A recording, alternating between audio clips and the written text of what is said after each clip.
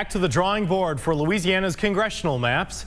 At issue, the Voting Rights Act and whether the maps dilute the voting power of minorities here in the state. A challenge to Louisiana's maps has been on hold pending a similar case in Alabama. That case went before the U.S. Supreme Court, and today the Supreme Court ordered Alabama to create a second majority minority district. Christina Mondragon joins us live from Baton Rouge with reaction from state lawmakers today. Christina.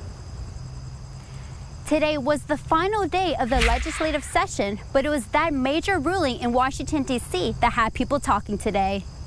Democratic State Senator Gerald Boudreaux says the Supreme Court ruling should lead to a review of the Louisiana congressional maps.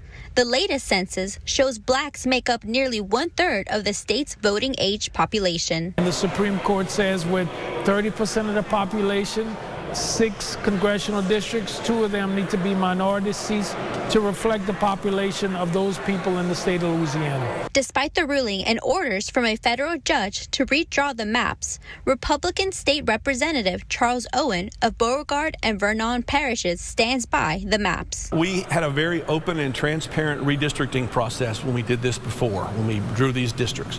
Um, the, the House staff here um, uh, we, we, had we had uh, meetings all over the state. Uh, it, it's my appreciation, understanding is that we followed the letter, spirit, and intent of the law, and the districts were drawn, and then the districts were challenged in court, and that's what we're waiting on uh, to find out if we get any more court direction on that.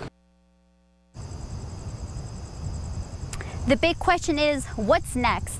I tried to get an interview with State Representative John Stefanski, the Crowley Republican who led the House GOPD in the redistricting efforts, but he declined for an on-air camera interview. Live in Baton Rouge, Christina Mondragon, KATC TV3.